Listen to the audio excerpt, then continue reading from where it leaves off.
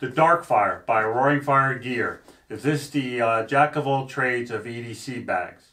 Hey, the Humble Southpaw here. Before we get into the video here, the review of the Darkfire, just a few things I want to just bring up here and I just want to go through some of some in detail. But first of all, this uh, bag was purchased by me. It was not sent to me by Roaring Fire Gears for review. Um, so just that's first of all uh, I wanted to say. Second of all, for YouTube's sake, uh, YouTube compliance, every firearm that's going to be used in this video has been checked and cleared, and they are not. There is magazine them, but they are not loaded. And third, I want to just say I'm coming in with some preconceived assumptions here, and I got a list over here, and this is based on some reviews I saw and and especially watching uh, Sootch rev- uh, review on this bag, and he does an excellent review, and it has nothing to do with his review.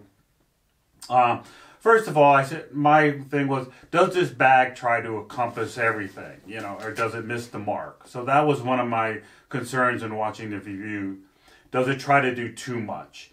Uh, the second of all was the straps going from sling to back straps. You know, was the sling going to be too big, too bulky? And then converting it to a backpack, was it going to sit up too high on the shoulders and in the neck and be uncomfortable in carrying things? And then lastly was, okay, this is great. I can go from a, a gray man to a tactical, and this is my own, you know, feeling of this would I do it once I had it set up either as a tactical bag or a gray man bag, and you know, same thing being a backpack and a or a sling bag? Would I be changing it that often? So those are my pre uh, conceived assumptions. So guys, just you know, knowing this going in, but I am going to give this an honest review, and some of my you know assumptions have been debunked, and some are have not. So let's go ahead and get through this. Um, just start off with some of the specs.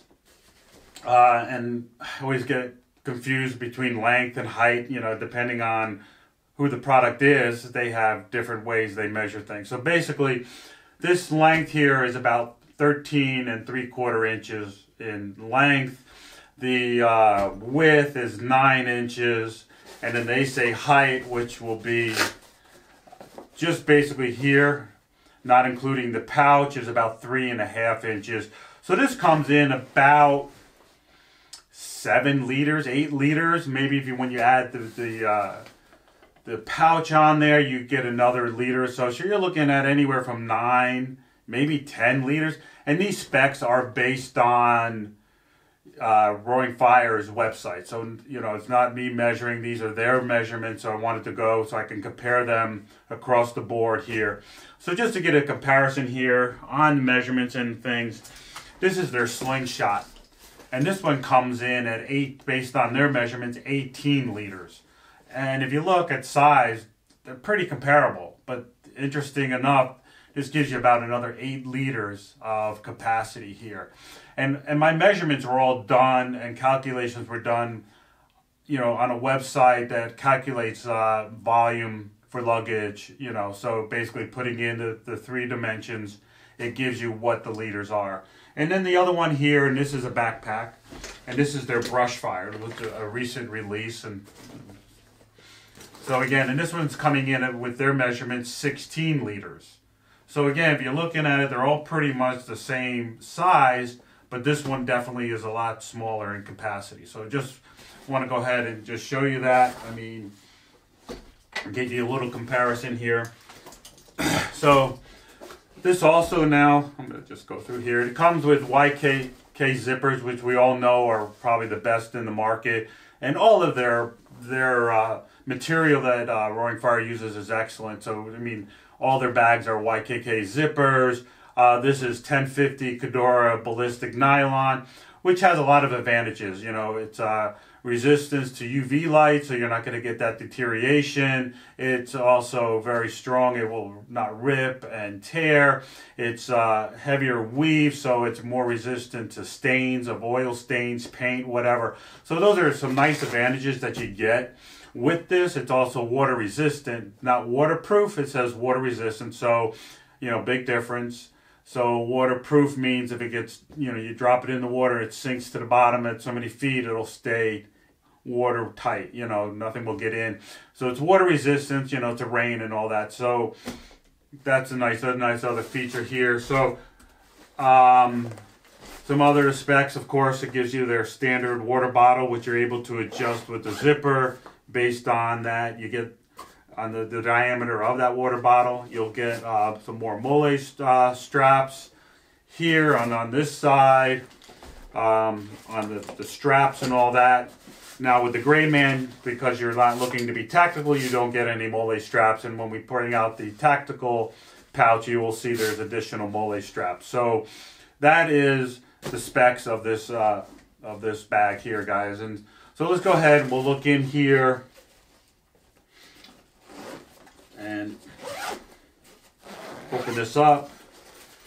And then you got that, and there's the tactical bag here, pouch. And I'll tell you, it's a nice, the system they have for changing it out is very nice. I'm very impressed with it, very good quality. Um, so basically you're gonna pull, pull this up, pull it out, lift up, slide it down, and it just pops out and then everything is attached you know via hook and loop. So this is all hook and loop material in here. That strap gets in the way. So then just take this out. I think you gotta tighten it up a little bit here just so make it a little easier. But basically here you can go bring this out.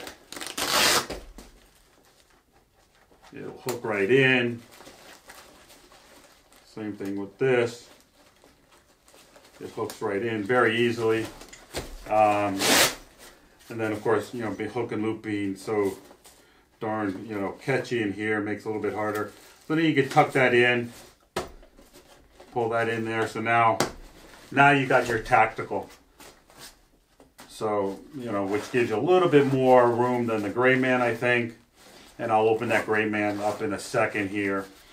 So Again, you get some extra pouches. And then the Grayman, uh, there's not a,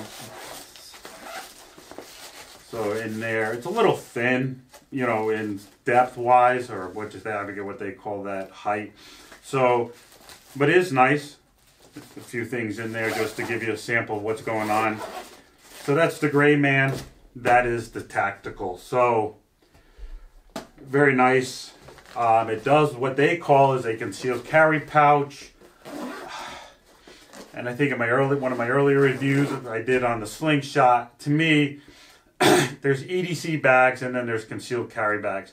I would consider this an EDC bag because it's really not designed from the bottom up to be a concealed carry. That's what to me is the difference. Where this one, where like a Vertx or a Viktos, uh, even your some of your 511. They're designed from being a concealed carry where you're able to draw draw from the bag without any uh, complications. This is just a a pouch in the back where you can store a firearm. It is not very flexible. It's not you know to get in access to it is a little bit harder. I mean, in my personal opinion, if I'm in a self-defense situation, I would not feel comfortable drawing from here because I mean, there's a little bit too easy to have a, you know, discharge, an accidental discharge from this thing here. Plus, they don't give you a holster for this. So to me, it's a, a pouch that could be used to put a tablet in that, but then they want to say, oh yeah, we can, you can conceal carry a gun in here. And you can. And, you know, I'll show you that in a second here. The other thing is you don't have access from both sides. To, to me, that does not make it a concealed carry. Plus, your zipper is, is not multi-directional. It's one way. So it doesn't help being a southpaw or a right-handed person or just the way you want to hold your your your bag here. It doesn't give you the flexibility of your, of the directional you're pulling that zipper, which you'll see, like I said, in other that are concealed carry bags. They give you that and I think even um, Mission First Tactical has an excellent bag. I have not purchased it yet, but they also offer like a multi-directional and, and two, two-sided access to their concealed carry compartment. You know, so that is there. And just to give you an idea here, we'll start off with, and this is the Canik, and it is empty. Yes, there's a mag in it, but it is empty. There's no ammo in there. So I mean, you're able to get it in there. It will conceal it, but like I said, you know, and I'm not probably giving a good, but getting in there, you are looking for a possibility for an accidental discharge as you're pulling out the firearm here. So just to give you an idea, uh, this is the um, Kimber, which is a kind of a micro compact. It does fit in, like again, zip it. So the micro compact. And then this is my latest, which is the Rost Martin. Love this gun. Um, and like the Canik is kind of a Glock 17, Glock 19. This is also about a Glock 19 size uh, firearm. And then of course you're looking at the Kimber, which is about your 365, 365 XL size, a micro compact. I mean, it just doesn't feel, it's a little bit tight. It doesn't go the full length of the bag. And like I said, so I would not consider this a concealed carry bag. Yes, it's an EDC bag where you can carry a gun, but I would not be drawing from that. And that's my impression. And of course, you know, with practice, you might be able to get there, but definitely would not recommend, you know, drawing from that. And, and not even their sling bag. I love their sling bag, and I, but I would not be drawing from that. So um, those are things. So that is it.